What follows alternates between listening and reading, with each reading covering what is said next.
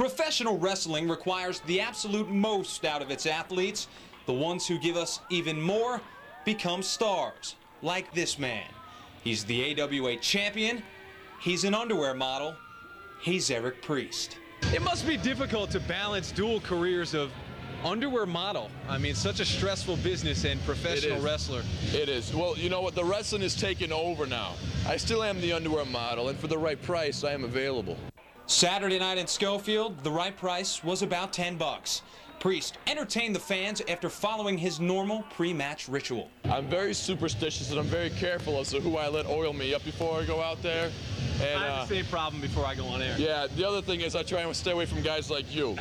And the ladies at his matches normally try to stay away from him. Now I want you You seem like, I mean, this is just in the short time I've known you. You seem like a pretty modest guy. Absolutely, absolutely. You know, it is hard to be humble. It is hard. It's it's something I strive, you know, to, to do. But uh, come on, look at me. you know what I mean? Sometimes it just doesn't work. And of course, no one likes to look at Eric Priest as much as Eric Priest, especially with that belt around his waist.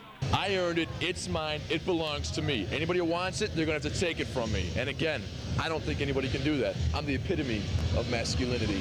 Well, I got to tell you, I'm kind of questioning what uh, Mr. Underwear model Eric Priest said before. Said anybody who takes his belt will, will suffer the consequences. Well, you know what? I came here tonight dressed in my shorts and a tee, ready to take on the underwear model. Uh, but apparently, uh, he, he's not up to the task. So, reporting from Channel. Let me finish this right. From Schofield, reporting the underwear model, Eric Priest, News Watch 12.